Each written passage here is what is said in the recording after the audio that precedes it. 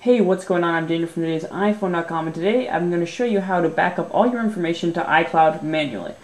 Now, iCloud will back up from time to time, um, but let's say you're about to go overseas, you're going to have your phone on airplane mode and you just want to back it up before you go, you want to make sure, or whatever the reason, there's other reasons like maybe you don't have Wi-Fi usually so your iCloud doesn't back up.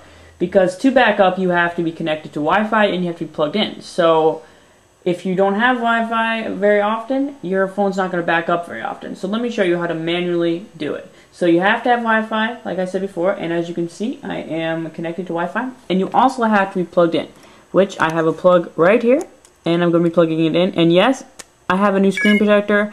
I just haven't put it on yet. I've been a little busy. Hopefully by next video, it'll be on, and then you guys can all be happy. Alright, so let's go to the settings here. And you're going to go to iCloud. And I'm going to scroll down. You don't need to see my email. Alright, you're going to scroll down to Storage and Backup. Click there.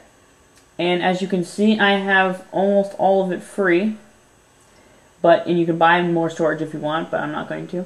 But you want to, uh, if you want to back it up, you just hit back up now. As you can see, it'll show you when your last backup was. Mine has never been backed up. So if I hit back up now, it's going to back up and it's going to give you uh, time remaining.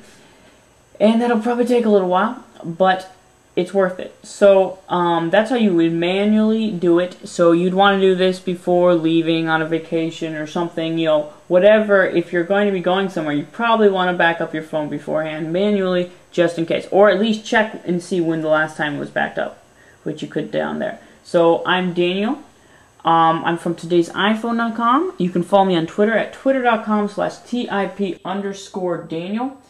I'll see you guys later. Have a great day.